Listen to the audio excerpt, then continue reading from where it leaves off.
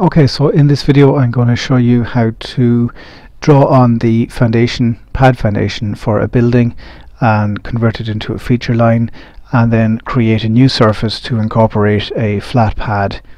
As you can see at the moment I've got a survey surface in my drawing.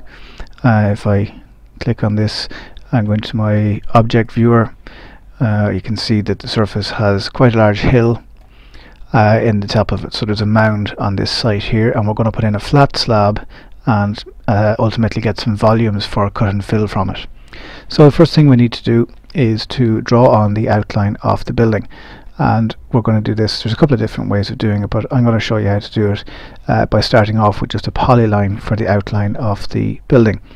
So it's the usual polyline command p line to start. And uh, it doesn't really matter where I started. I'm going to put it in somewhere about here I'm using my orthographic mode and I'm just uh, sketching in what the building would look like. Now you may have coordinates for a building already, uh, in which case you would use those coordinates. Uh, bear in mind what I'm doing here essentially is just sketching uh, building on just to have a look and see what it looks like. And uh, I can close that polyline back now. So that's the outline of my building. Um, it will have taken, because I've drawn it on the surface, it will have taken the level of that point on the surface as the level for my entire pad. So I don't know what that's going to be at the moment, somewhere between 75.5 and 79. So um, we can check that later, make some changes to it if we have to. So we need to create a feature line from that in order to be able to do some manipulation with it. So come up to this part of the uh, ribbon, the design center on the ribbon, click on feature line and we're going to create feature lines from objects. So the object we're going to use is the rectangular shape we've just drawn. So when you click on that, the command line is asking you to select the polylines to convert to feature lines. So we'll do that simply by clicking on it and then pressing enter. Here it's asking us to uh, name the feature lines, so I'm just going to call it site 1, that's fine. And uh, with the name I'm going to change feature to building. The style we're going to use is basic and it's asking me do I want to um, use different layers and a couple of options down here are going to be important as well. Do we want to er erase existing entities? We do and we also want to assign an elevation. So we click on that. Now the elevation that I want to use for this building we'll say is uh, 75.5 which will mean that in this corner here we've got a little bit of cut and by the time we come over to this corner here it'll be quite a good bit of cut so we're going to take our elevation and we're going to overwrite that to 75.5 currently the option is that the slab here is taking its level from the surface um, so that polyline that we drew a few minutes ago had a level of about 76 or something like that uh, when it was taken from the surface, the existing ground level. We want to override that and give it an actual design level of 75.5. So click OK to that. And you can see our rectangle has gone green now, which means it's converted into a feature line.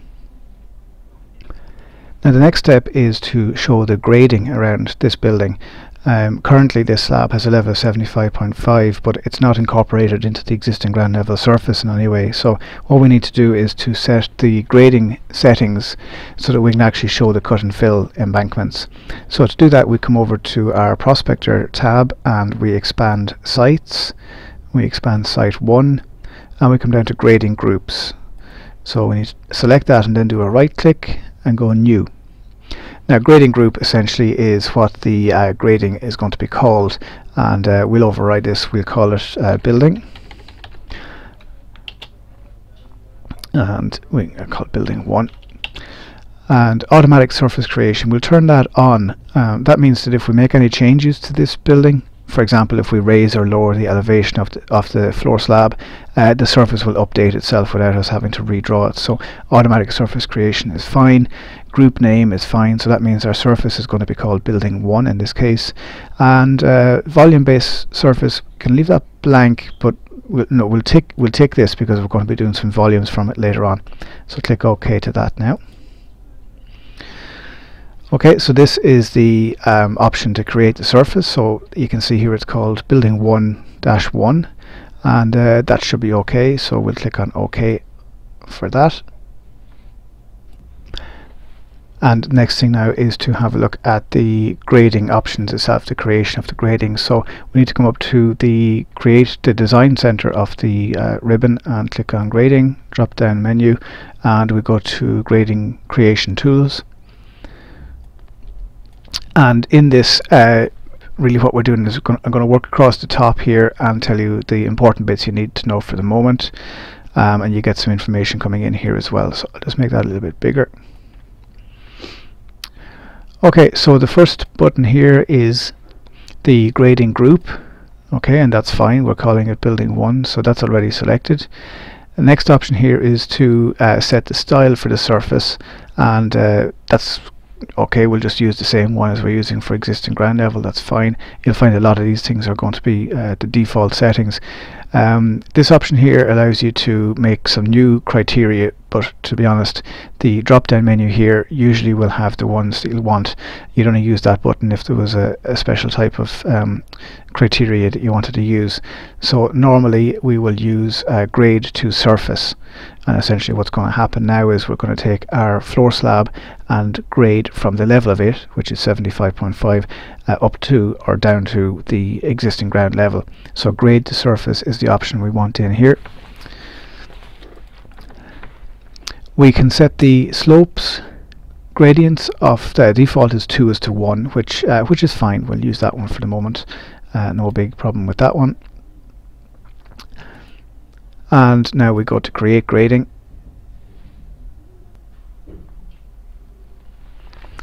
So uh, I, I accidentally come out of it there. Uh, come back into grading creation and uh, we've all the settings here from before. So go to create grading and you will see down on your command line it says select the feature.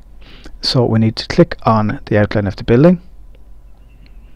And it's saying select the grading side. So do you want, want to grade on the inside or the outside? Well we want to grade on the outside so click anywhere around there. Apply to the entire length yes. The cut format do we want to use a slope or a grade? Well we use a slope and it's uh, 2 is to 1 so we can press enter to accept that. For the fill again we select slope and press enter to accept 2 is to 1 and you'll see here now I'll just close this down out of the way. You'll see now that the uh, surface has been uh, created in here to show the areas of cut and uh, maybe possibly a small area of fill. No it's not. It's it's entirely in cut actually this section here.